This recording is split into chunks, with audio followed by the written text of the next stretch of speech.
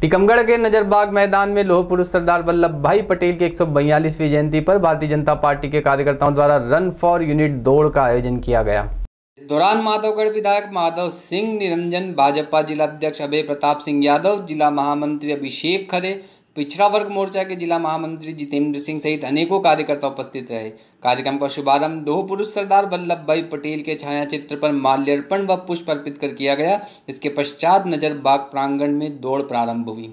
टीकमगढ़ से सूर्य प्रकाश खरे की रिपोर्ट। आयोजन हुआ। ये किस संबंध में हुआ और कहाँ कहाँ आयोजित किए गए? ये पूरे भारत में ये आयोजन हुआ है। आज चूँकि सरदार पटेल जी की प्रतिमा की स्थापना गुजरात में जो सरदार जी के नाम से बाँध है, उस पर हो रही है। उसकी ऊंचाई इस विश्व में सबसे बड़ी मूर्ति के रूप में हो रही है। स्टैचू ऑफ़ लिबर्टी वगैरह, ये सारी मूर्तियाँ जो विश्व में हैं, स्थापित अमेरिका से लेकर अन्य देशों में, उन सबसे अधिक लंबाई वाली मूर्ति है।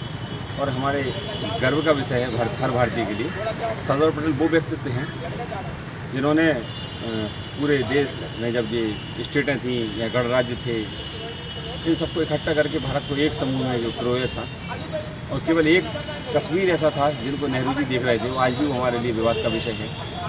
चूँकि लोह पुरुष ने कहा गया है इतने मज़बूत राज्य के व्यक्ति थे वो, कि उन्होंने ये सब करके दिखाया है और भारत आज यदि इतनी ऊंचाइयों पर पहुँचा है तो ये उनकी ही देन इसलिए उनका मूर्ति की स्थापना करना ये हमारे हर भारतीय के लिए गर्व का विषय है। उनके इस दिवस पे, उनके दिन पे हम लोग पिछले पाँच वर्ष से चार वर्ष से लगातार इस दौड़ का आयोजन इकतीस तारीख को करते हैं, ये चौथा वर्ष था। और उनके सम्मान में हम लोग सभी कार्यकर्ता सभी जनता के लोग करते ही रहेंगे इस कार्यक्रम को।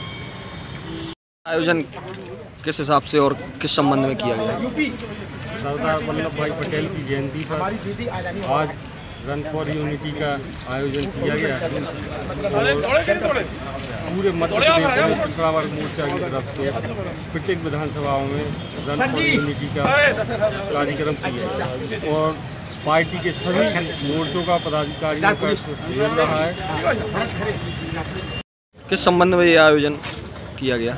आज हमारे लोह पुरुष सरदार वल्लभ भाई पटेल जी की जयंती के अवसर पर रन फॉर यूनिटी एकता के लिए दौड़ का आयोजन किया गया है जिला मुख्यालय पर। सभी विधानसभाओं में आयोजन किया जा रहा है।